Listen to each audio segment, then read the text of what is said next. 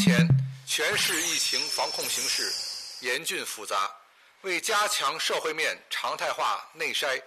从严从紧从快排查风险隐患，坚决遏制疫情扩散蔓延，根据北京新冠肺炎疫情防控工作领导小组的安排，四月二十五日至三十日，在主城区及平原地区开展三轮区域核酸筛查。目前，第一轮区域核酸筛查已经完成，累计采样一千九百八十一万人次，已出结果一千九百八十万人次，初筛十二管混采阳性。其中，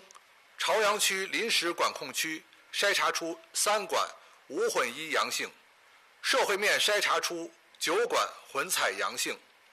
通州区一管三混一阳性，两管十混一阳性，丰台区两管十混一阳性，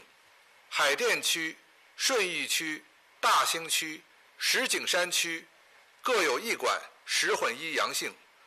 落位管控。复核转运、流调溯源等工作已同步进行中，这为有效的阻断病毒的传播发挥了积极的作用。Thank you.